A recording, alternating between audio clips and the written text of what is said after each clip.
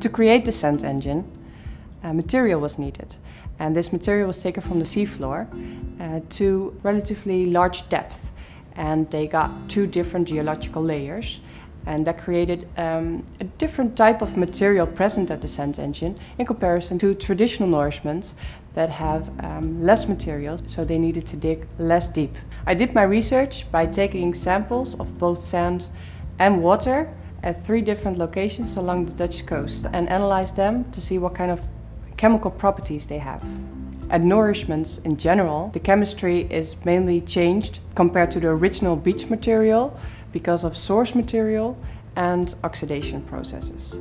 That caused um, a high iron content to be present and trace elements to be mobilized.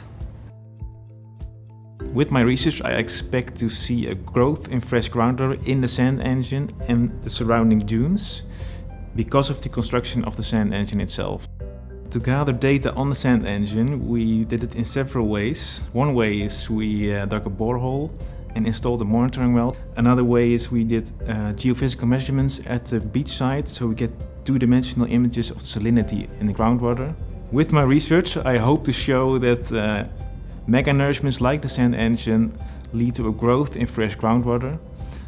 So that might be interesting to combine coastal protections with the growth in fresh groundwater.